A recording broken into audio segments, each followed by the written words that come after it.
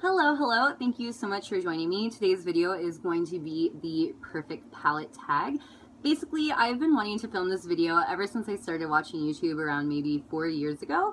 And this is a tag that just asks a bunch of questions about your favorite palettes. You get to go through your collection, pick out the eyeshadows that go the best with the questions. And since eyeshadow is my favorite makeup product aside from foundation, I really, really wanted to film this for you guys.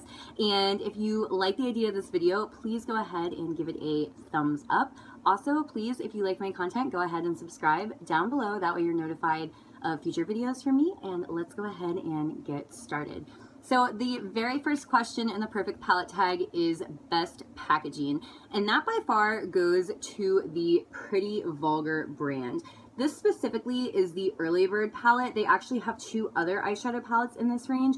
But honestly, I feel like Pretty Vulgar takes the cake for just about packaging on everything. Their mascaras, their blushes, their bronzers, like they have the most beautiful packaging.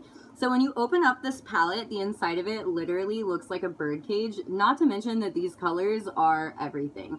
I love that there are some mauvey purpley tones. There are also some taupey shades over here. I love these shimmers down here, the pinks, the purples, and there are also these nice dark colors up here, so you can really add some definition to your eye if you want to. And I just, I love the layout of this palette. I think hands down it has the best packaging. Okay, so next. The next question is the best color payoff, and that definitely goes to my Anastasia Beverly Hills Modern Renaissance palette. Um, this is my favorite palette of all time, hands down. Best palette I've ever used, tried, owned. I'm obsessed with it. So this is what the inside of the palette looks like. These colors are ultra pigmented, ultra buttery, ultra creamy, ultra smooth. Honestly, if you love eyeshadow, you need this in your collection. These are so pigmented and beautiful. They will show up on every single skin tone, but they are so flattering on everyone. And Anastasia is actually coming out with a sister palette to this called the Subversion palette that is being released on her website tomorrow. I cannot wait to get my hands on it. It's supposed to have the exact same formula. And honestly, this has the best color payoff out of anything I've ever owned. Okay, so the next question in the tag is the most versatile, and that by far goes to my Lorac Mega Pro 3, or really any of the Lorac Mega Pro palettes. So basically, every holiday, Lorac releases a Mega Pro giant um, palette, and it has a total of 32 shades in it. So these right here are all mattes, so there's 16 mattes, there's 16 shimmers, these colors are absolutely beautiful. I really do like the Lorac Pro formula. I think that it's similar to the Anastasia Beverly Hills formula. However, I do like this one just a tad bit better. But I feel like this palette has every color you could ever need. There are warm tones, there are cool tones, there are shimmers, there are mattes, there are satins. I mean, this palette has every color in the rainbow, and I feel like it's just so versatile. The awesome thing about this palette is typically her Mega Pros only come out during the holidays. However, you can get this one still on the Ulta website and also the Lorac website. Totally worth it. Beautiful, versatile palette. Okay, so the next question in the palette tag is the best palette for traveling. And this one also I'm going to give to a Lorac Pro Shadow Palette. Um, however, this is not a Mega Pro, this is a regular Pro. This is permanent in the collection, and this is the Lorac Pro 3. So every time I go traveling, I love to take this with me. It does have a mirror in it, and you can definitely tell that this has been loved. I love that there are some warm tones, there's some cooler tones. You also have some shimmers down here, and I just, I love the size of it. I feel like it fits in your bag really well. The packaging is very sturdy, so it's not going to break in your bag. And you can pretty much create a day look or a night look with this, and I just feel like it's perfect for traveling. Every time I go somewhere, I always take my Lorac Pro 3. So the next question in the tag is kind of a sad one. Um, this palette is, whoops, this palette is my biggest regret. And I feel like there's a lot of controversy about this palette on YouTube, on Instagram. People either love it or hate it. And I don't hate it. I don't think it's the worst palette ever but I really do regret buying it. So this is the Tarteist Pro palette, and this is what the inside of it looks like. Sorry, it is quite reflective. Um, one positive about this is it does smell like vanilla, like the rest of Tarte Shadows, so I do like that. Um, The thing that I don't like about this palette is even though these colors look very versatile and beautiful, I feel like when I blend these out on my eyes, I end up getting a really muddy look. And it doesn't seem to matter if I'm using the lighter mattes, the darker mattes, or I'm incorporating these duochrome shimmers. I just, I never like the eye look that I come out with. And I just, this is like a $60 palette. And honestly I feel like there are much better things you can spend your money on. You can buy almost two of those Anastasia palettes for the price of this. So yeah, that is definitely my biggest regret.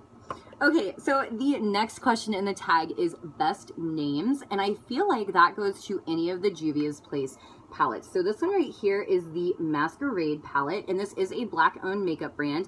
The awesome thing about their palettes is all of them are based on Africa and the traditions in Africa. So some of the names in this palette, I mean, of course, the colors are absolutely stunning. They're super pigmented. I love these. And you can get more natural looks and obviously more creative looks out of this. Um, but some of these names are names like Giza, um, Zobo, Cairo, Zulu, Chi, Molly, Dahlia, Zola. I just, I really like that this palette has a lot of meaning behind the names and it's all about African culture as all the Juvia's Place palettes are and they are just fantastic. They're really inexpensive for the quality and I just think that it has the best story behind the names. Okay, so the next question in the tag is my least used palette, and that definitely goes to my Jouer Skinny Dip. Sorry, this is quite reflective. Um, so this is what the inside of the palette looks like. Again, very reflective. You can tell the pink one has gotten a lot of love. It is by far my favorite shade. However, it is the least pigmented out of all of the shades, which is a little disappointing. But the thing about this is even though it is beautiful, this is not an everyday look kind of palette you can't get a look just out of this one palette. You have to pair something else with it. And these colors, like I said, they're just not super practical for every day. And it's definitely, it's not my least favorite palette, but it is definitely my least used palette. And finally, the last question in the tag is the most used palette and also the palette you could take with you on a desert island. I'm actually wearing this palette on my eyes today.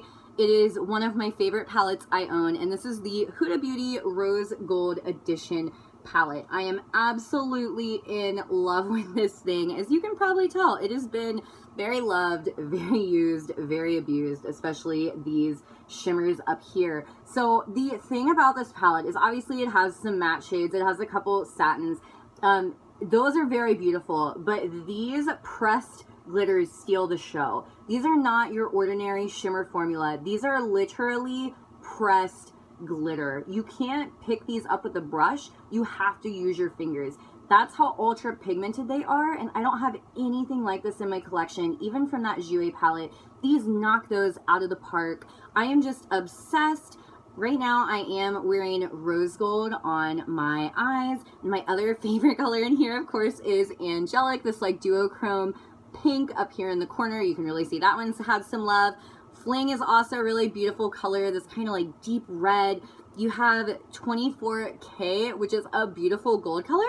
And then this shade right here, Trust Fund, is also just absolutely beautiful. I adore this palette. I think that if you like pressed glitter shimmers, you need this in your life. And not to mention, you don't have to use the pressed glitters every time you use this palette. I really think that these um, shades down here give you a really nice matte look if that's what you're looking for for every day.